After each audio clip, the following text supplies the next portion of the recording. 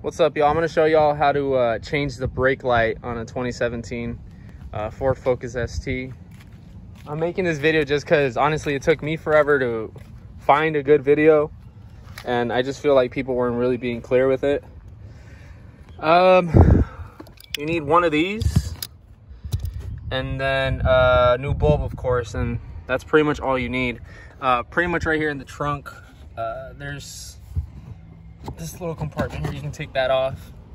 And then you're gonna see that uh, plastic screw there. You got one and then up top, you got two. Um, you can try using your, your fingers here, but it's gonna be a little bit tough. Um, so that's why I recommend grabbing one of these.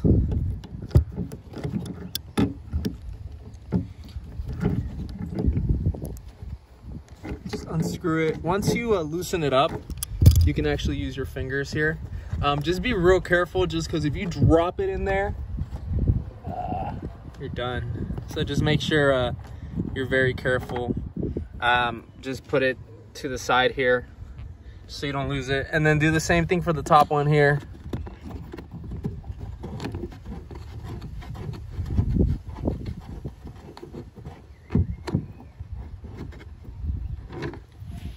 Go and just like I said make sure you save those just because if it falls in there yeah all should break and loose there. So now uh, this thing should be pretty loose. Um, I'm filming with one hand but I'm gonna try to uh, pop it open here. So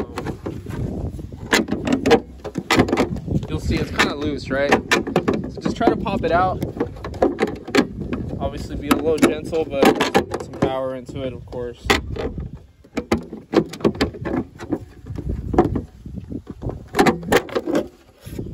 go and then it should pop loose. You should see some wires in there.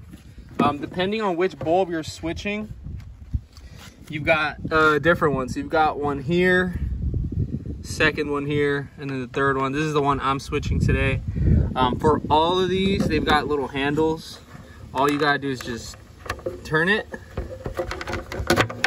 and bam there we go. And it's real simple. All you're gonna do pull this guy out I can't show you here, but you'll pull it out, uh, get your new one, put it in there, and then you'll pop it back in place here.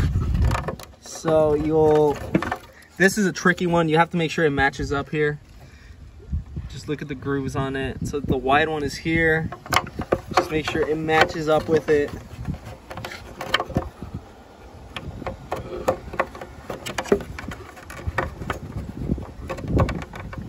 There we go and then pop it back. And you'll hear like a little snap there.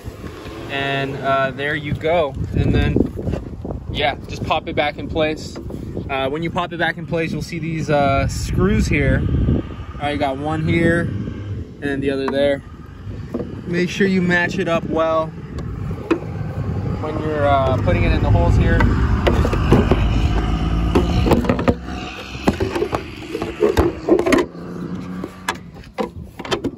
There should be a quick snap there. And there we go. Lastly, put these guys back on there just like the way that they were. So tighten it as best as possible. Um,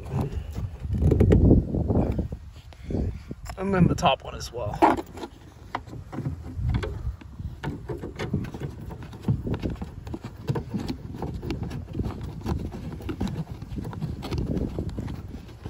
Yeah, and if you got really big hands, like this is actually kind of tough for me, but if you have smaller hands, it's much easier. And then just place this back on, and uh, there we go. Let me know what y'all think.